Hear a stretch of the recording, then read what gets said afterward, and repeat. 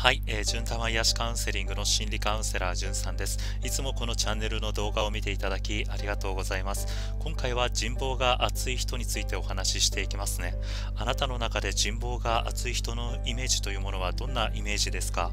誰からも信頼されているような人かなとか、嘘をつかない誠実な人かなと思ったりとか、上下関係にとらわれないで平等な振る舞いができる人かなとか、まあ、そういった周囲から信頼されていたりとか、誠実な人のイメージというものがあるのではないかなと思います。また今現在そういった人望が厚い人になりたいなとそのように考えている人感じている人もいるかなと思うんですね。で私自身も過去にそのような人物になりたいなと、まあ、人望が厚い人になりたいなと思っていた時があったんですね。私が働いているその職場の中にですね、あの当時はですね、こうとてもこう人望が厚い、えー、そういった上司がいたんですね。誰にでもこう優しく接していたりとか、いつでも穏やかなそういった人柄の上司だったんですね。私はよくその上司の振る舞いとか、まあ、話し方をこう真似てみたりとか、まあ、そのようにしていたんですね。ただこう真似ては見るものの、その人望を得るには時間がかかりますし、何よりも信頼関係を築く、まあ、そういった必要があるので、こう失敗するということも多かったんですね。実際にその職場での立場が自分がこう変わっていって、まあ、こうみんなをまとめていくような、まあ、そういった立場になった時には私はその上司の振る舞いをこうまずベースにしていったといったことがありました、まあ、その当時の私のようにですね人間関係を円滑にするためであったりとかまたはそういった周囲との関係をこう良好にしていくために人望を得たいなとでそのように願っている人も多いのかなと思うんですね。今回はそういった人望が厚い人の特徴心理とその人望の熱い人になるための方法についてもですね詳しくお話ししていきたいと思いますのでぜひ最後まで動画を見ていただけると嬉しいです。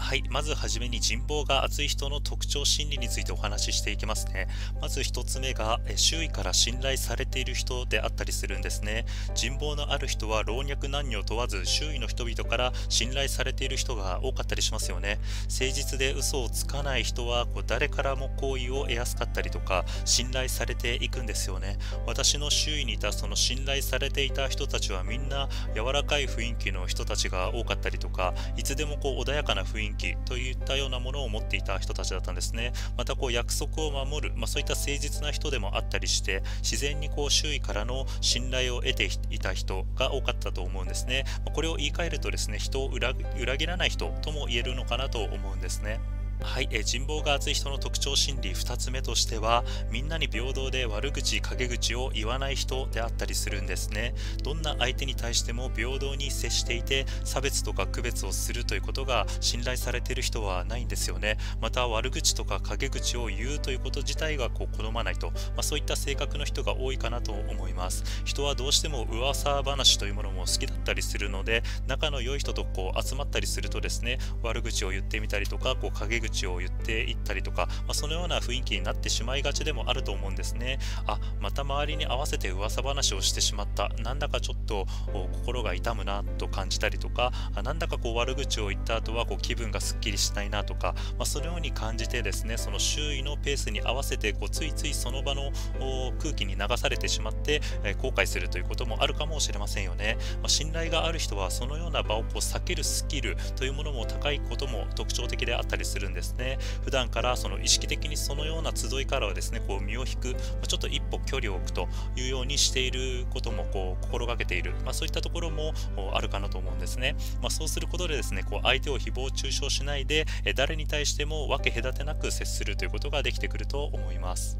はい、え人望が厚い人の特徴心理3つ目としてはいつでも誠実で嘘をつかない人であったりするんですね。これは先ほどもお話ししてきたことと一緒なんですけども嘘をつかずにいつでも誠実であるのもこの人望を得る人の特徴でもありますよね。言い訳をしたりとかごまかしたりとか責任を逃れるために嘘をついたりしない人がやはり誠実な人であったりそういったまあ人望が厚い人でもあったりするんですね。誰かにこう迷惑をかけた時はこう素直に謝ったりとか、まその場をこうごまかそうとしない、まあ、そういったところがあると思います。で過去の私はここがうまくできなくて悩んでいたってこともあったんですね。あまた謝ることを避けてしまったな。なんだか自己嫌悪にこう感じるなとか、まあ、そのように感じたりとかあごまかそうとまたしてしまったなとか嫌な自分だなとか、まあ、そのように感じてですね自己嫌悪してしまったという時もあったんですね、まあ、カウンセリングの場でもそのようなごまかしてしまう自分自身に悩まれているという方は多くいらっしゃるんですね。人は都合が悪いと感じるとやはりこう嘘をついてごまかそうとしてしまったりとか、まあ、その場でこうやはりこう逃れるためにこう嘘をついてしまうという時もあると思うんですね、まあ、それがこう些細なことだとしてもやはり信頼とそういったところからこう人望をなくしてしまうということもあったりします、まあ、最初は難しいと感じることかもしれませんが、ま少しずつ誠実な振る舞いをこう心がけていって、ま実践していくということは可能だと思うんですね。都合の悪いことでもこうやはりこう素直に自分で認めていって、ま非があれば謝罪するように、まそのような意識でいくといいと思います。はい次に人望が厚い人になっていくための3つの方法についてお話ししていきますね。まず1つ目が人の話をよく聞いて受け止めるといったような方法です。上下関係にこだわらず誰に対しても聞き上手で話しやすい人といったことがその人望が厚い人が多かったりしますよね。ポイントは2つあるんですね。1つ目が相手の話を真剣に聞く姿勢を持つといったようなことです。そして2つ目が適当に受け流したりとか分かったふりをしないといったたようなことです。この2つのポイントを意識してみてください。あ私の話をしっかりと聞いてくれているんだ。とても信頼できる人だなとそのように感じてもらったりとか。あ適当な扱いをしない人なんだな。偽りがなくて信頼できる人なんだなとそのように感じてもらったりとか。相手もですねそのような素振りとか、まあ、そういったですねあの姿勢というものをこう感じることによって、まあ、安心できてくるんですね、まあ、そのためこう周囲もこう進んでそのあなた自身ですねこう話そうというような気持ちになってきたりもするんですね。まずは人の話をよく聞いていってそして受け止めてですね共感してあげるあそうなんだねというふうに、ま共感していくような、ま姿勢を持つといいと思います。人は話を聞いてもらうと喜んだりとか、まあ、嬉しいなとか、まやはりそのように感じるものもあるんですよね、まさらにその共感と理解というものをこうその先に示していくとなおそのようにあの感じていただけると思うんですね。なのでこう適当に相手をこう受け流すんではなくてしっかりとこう耳を傾ける姿勢をとっていって相手の話をまずは聞いてみてくださいね。はい、え人望が厚い人になっていくための方法の2つ目としては感謝の気持ちを持って接していくといったような方法です。プライベートでも仕事でも人にしてもらったことを忘れずに常にその相手に対して感謝の気持ちを持っていくということはとても大切ですよね。過去の私もそうだったんですけども慣れ親しんだ関係になってしまうとやはりその小さな相手の心配り気配りに対してですね気づけなくなってしまうということもあったんですね。あいつもありがとう。感謝しているよ。とちゃんと言葉で伝えたりとかあなたがいてくれて本当心強いよありがとうとか、まあ、そのようにやはりですね普段から感謝の気持ちをしっかり言葉にして伝えていくといったことが大切になってくるんですね。言葉にしなくても相手は分かってくれているから大丈夫だろうとそのように思ってしまいがちなんですけどもやはり言葉にして伝えるということはとても大切なんですよね、まあ、そのような、えー、ことがこう続いていくことから人からこう慕われて、まあ、よくされるということでですね自然とその感謝の気持ちもですね生まれてくるということもあるんですね。人望のある人は感謝の気持ちをやはりこう持ちやすい環境を常に作っているとも言えると思います。はい、え人望が厚い人になるための方法の3つ目としては小さな思いやりを忘れないようにしていくといったような方法です。人には丁寧に接して思いやりを持つようにするととてもいいですよね。偉そうにしてしまったりとか自分勝手に行動したりする人はやはり誰からも信用されないですよね。人との接し方は人望を得られるかどうかのやはり分かれ道となってくるんですね。私も過去に良かれと思って行動したことが裏目に出てしまった、まあ、そのように感じて思いやりの持ち方に苦労したこともあったんですね。思いやりのある行動とは人を思いやって相手の気持ちや立場になって行動するといったようなことです。私の気持ちになって真剣に行動してくれたんだな信頼できる人なんだなこの人はと感じてくれたりとか誰にでも思いやりを持った行動をしているんだなとても信頼できる人なんだなと、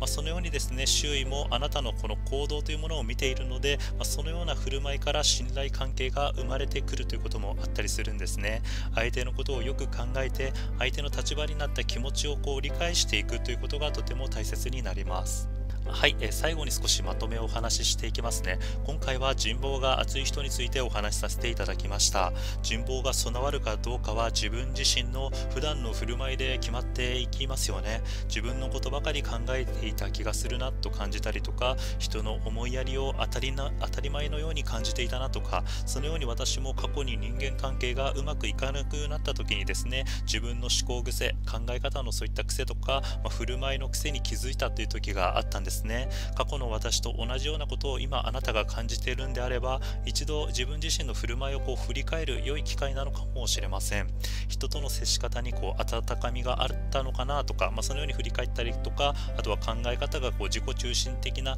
一方的になっていなかったかなとか、まあ、そのように振り返ってみてですね相手をこう思いやったりとか普段から小さな感謝をこう持っている人というのは行動や振る舞いからやはりその人柄が周囲に伝わっていっているということがありますよね、まあ、その人人柄を周囲は感じることができて、えそのあなた自身をですね信頼しているということがあるんですね。信頼関係を築くことでこう人望も自然と出来上がってくると思うんですね。信頼関係があるとやはりこう自然に周囲から慕われたりとかあとは講師ともにこうスムーズな人間関係が築かれていくと思います。ぜひ今回紹介したですね3つの方法をまずは試してみてくださいね。はいえ今回は人望が厚い人についてお話しさせていただきました。今回も何か一つでもあなたにとって参考になるようなことがあったりとか新しい気づきになったなとか、まあ、そのように感じられるようなところがあったらとても嬉しいです。今回も動画を最後まで見ていただきありがとうございました。それではまた次回の動画でお会いしましょう。